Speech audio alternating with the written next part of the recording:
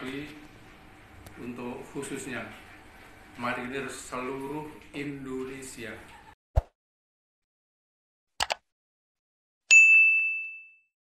Selamat pagi untuk khususnya marinir seluruh Indonesia. Angkatan Laut terutama. Angkatan Laut terutama.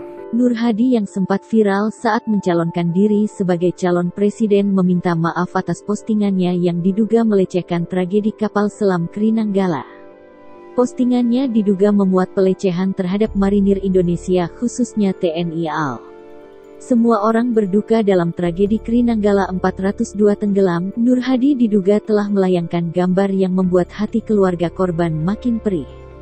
Postingan ini kemudian terlanjur menyebar hingga membuat pria yang dikenal dengan sebutan Nur Hadi atau Dildo, didatangi oleh pria yang meminta pertanggungjawabkannya untuk memberikan klarifikasi.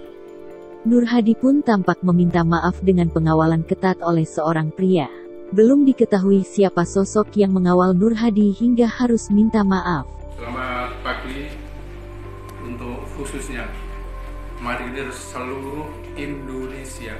Angkatan Laut terutama. Angkatan Laut terutama, saya secara pribadi atas nama Nur Hadi dan keluarga memohon maaf yang sebesar-besarnya dan yang telah menerima musibah.